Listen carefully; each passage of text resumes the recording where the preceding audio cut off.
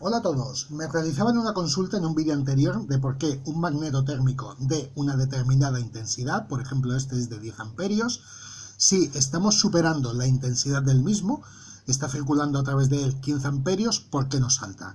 Un magneto térmico tiene una tolerancia mucho mayor que la que puede tener un ICP, un interruptor de control de potencia, que el mismo, si fuera de 10 amperios, en cuanto llegásemos a los 10, 11 amperios, saltaría. Pues bien, un magneto térmico, la tolerancia que tiene es mayor.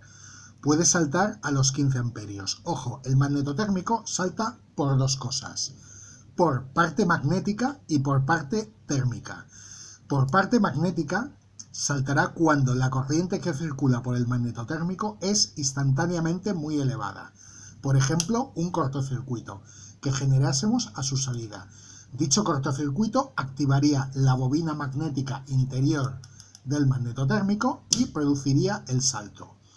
El otro motivo por el que salta un magneto térmico es por parte térmica, por calentamiento, que sería la segunda opción.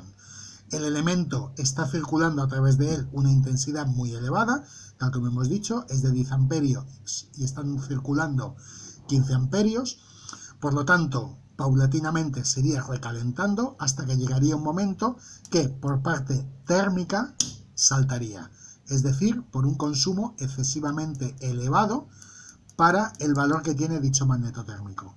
Por lo tanto, espero haber aclarado la duda, que los mismos saltan por dos motivos. Por intensidades instantáneas muy elevadas, activan su bobina interior, por lo tanto salta, y por una intensidad superior al margen de funcionamiento del elemento, va recalentando el interior del mismo hasta que produce el salto.